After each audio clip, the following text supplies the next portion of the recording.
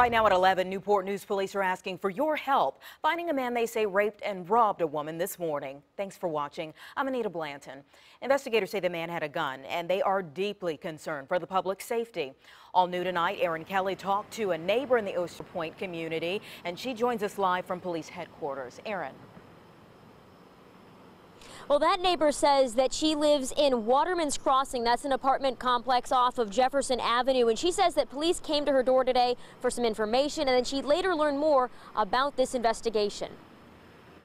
Around 5.30 Friday morning, Newport News police say a woman called to report that a man with a gun told her to go inside her home, then sexually assaulted and robbed her before taking off.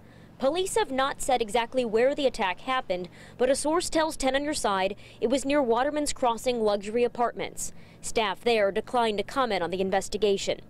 Resident Deborah McNeil said police came around asking neighbors for information. Well, we heard that um, something had, an incident had gone down, but we weren't sure exactly what it was. But they said that we should um, let them know if we saw anything or heard anything. Officers say the suspect had a black and silver gun. He's described as a six foot one, heavy set African American male with a short haircut and goatee.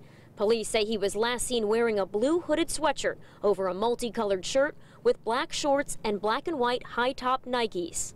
It makes me nervous, but you know, these things do happen, they do occur. So we just want to be extra careful. We want to be sure we always have our keys, we always have something to fight back, and we're always aware that there could be danger. And police say the victim does not know the suspect. They are asking anyone who sees someone matching the description to call 911. Live in Newport News, Erin Kelly, 10 on your side. All right.